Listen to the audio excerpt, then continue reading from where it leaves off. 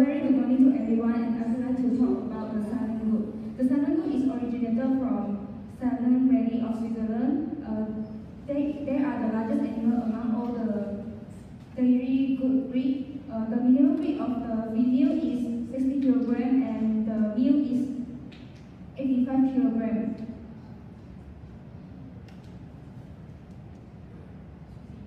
Uh, they will simply adapt to any kind of weather and they are useful in reducing unemployment in uh, rural areas.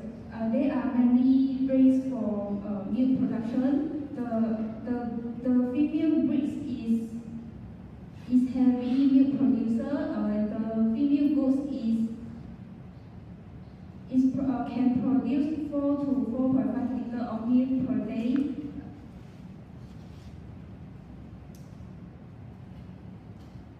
The commercial goat farmer can consider their